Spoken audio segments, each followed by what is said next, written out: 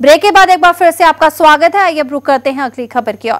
22 तारीख को होने वाली रैली की तैयारियों के लिए कांग्रेस ने कमर कस ली है। इसके चलते आम कार्यकर्ता के साथ साथ नेता भी एकजुट हो गए हैं। विवादों में घिरी धर्मशाला सीट पर अब कांग्रेस नेता एकजुट होकर प्रचार कार्यों में जुट गए हैं। आज़ाद उम्मीदवार के रूप में उतरने वाले दिग्विजय पुरी ने भी सुधीर शर्मा के साथ मिलकर कांग्रेस के प्रचार अभियान को और तेज कर दिया है।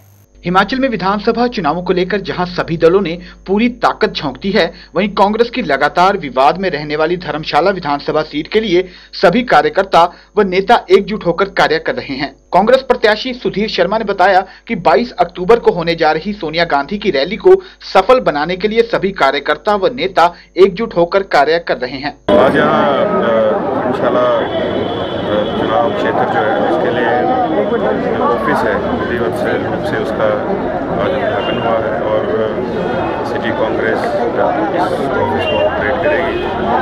और ये मेन ऑफ़िस हमारा होगा जो बाकी जो भी सब ऑफ़िस खुलेंगे। उनको यहीं से कोऑर्डिनेट किया जाएगा पूरे क्षेत्र के।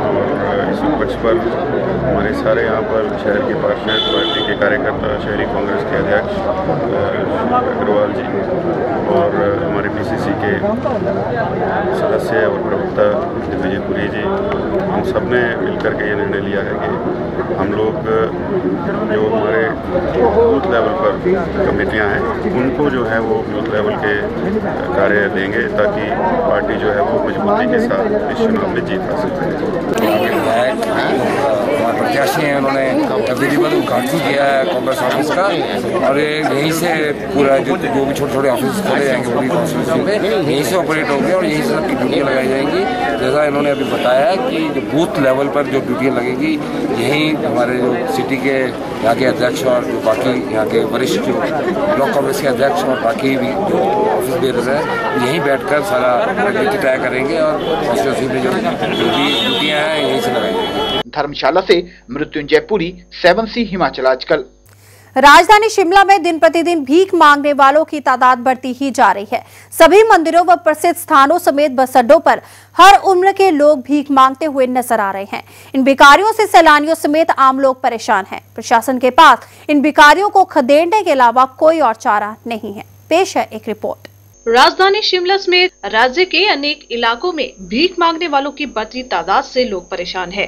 ये भीख मांगने वाले खास तौर पर बस अड्डों मंदिरों और बाजारों में आम देखे जा सकते हैं हर आयु वर्ग के भिखारियों की संख्या इतनी बढ़ गई है कि राजधानी शिमला के स्थानीय लोगों समेत सैलानियों का घूमना फिरना धूबर हो गया है खास तौर पर नवरात्रों व त्योहारों के मौके पर ये भिखारी मंदिरों के बाहर इकट्ठा होकर भक्तों को अपना निशाना बना रहे हैं। उधर हिमाचल आजकल द्वारा प्रशासन से इस बारे में पूछने पर शिमला के अतिरिक्त पुलिस अधीक्षक ब्रिजेश सूद का कहना है कि प्रशासन भिखारियों को समय समय पर खदेड़ने का काम करता है, मगर जनता ही भिखारियों को भीख देकर भिक्षावृत्ति को बढ़ा रही है। कारण चाहे जो भी हो, भिखारियों का शिमला बाहर समेत अन्य इलाकों में तेज़ी से बढ़ना चिंता का विषय है। में जैसे ही ऐसे रिलीजियस फ़ंक्शन स्टार्ट होते हैं तो काफ़ी जगह से लोग जो हैं, वो मंदिरों में भिक्षा मांगने के लिए आ जाते हैं। पुलिस जो है, वो समय समय पर जो है, इनको यहाँ से भगाती है, हटाती है, क्योंकि रिहेबिलिटेशन सेंटर्स नहीं है यहाँ पर, ताकि हम उनको वहाँ पर ले जाकर जो है, इनको रिहेबिलिटेशन के लिए स्पूर्त करें। ऐसी कोई चीज़ नहीं है। तो हम ये करते हैं कि यहाँ से इनको भगा देते हैं उनको हटा देते हैं। That is not the permanent solution any पर फिर भी जो है पुलिस जो समय समय पर जो जो टेम्पल्स हैं जैसे माल रोड है यहाँ पर और जगह भी हैं, वहाँ पर पुलिस लगी हुई है और इस टाइप से यदि कोई ज़बरदस्ती करता है या कोई तो लोगों को देना भी नहीं चाहिए, लोगों को भी कॉपरेट करना चाहिए, लोग आप भिक्षा देते हैं it mean making the person permanently beggar Anish Chauhan के साथ नीरू शर्मा सेवन सी हिमाचल आजकल। फ़िलहाल अब वक्त तो चला आप सबसे इजाज़त लेने का, लेकिन जाने से पहले एक नज़र डालते हैं अभी तक की हेडलाइंस पर। मुख्यमंत्री प्रेम कुमार धूमल ने प्रचार अभियान में लाई तेज़ी, नाहन में राजीव बिंदल के लिए वोट मांगने के साथ साथ केंद्र सरकार पर भी साधा निशाना।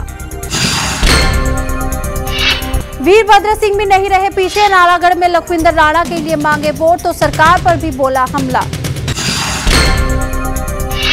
पालमपुर में सीडी कार ने बटोरी सुर्खियाँ राजीव जम्बाल द्वारा जारी सीडी ने मचाई हलचल।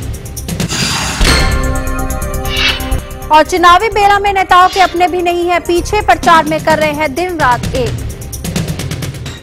नई और ताज़ा जानकारी के लिए आप लोग बने रहिए सेवन सी के साथ। हिमाचल की कुछ और खबरों के साथ हम जल्दी हाजिर होंगे हिमाचल आजकल में। तब तक के लिए मुझे यानी कि छवि को दीजिए इजाज़त, नमस्कार।